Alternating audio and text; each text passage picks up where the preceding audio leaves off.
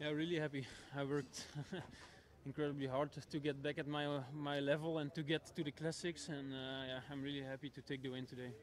Do you think that your form is getting there for the longer races? You're facing 270, another 100 kilometers on Sunday.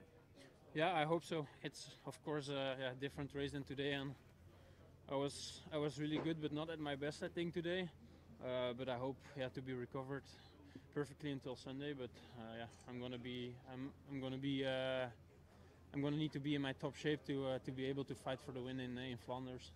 How do you manage this going into a big race? Because do you have to be concerned about using too much energy on a Wednesday, energy that you might need on a Sunday?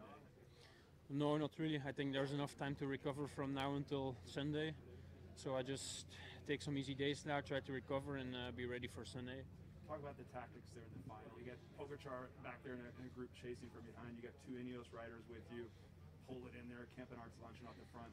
How were you playing it all? Yeah, it was really difficult to manage. Um, I wasn't really concerned with the groups coming from behind because yeah, the cooperation was really good in the in the front group, and also the, the pace was incredibly high. There, so it was almost impossible to bridge the gap. But then in the final, it was yeah, pretty hard to control. I knew uh, they were um, looking at me as well, so I tried to to only do the necessary and uh, try to focus on the sprint. Thanks.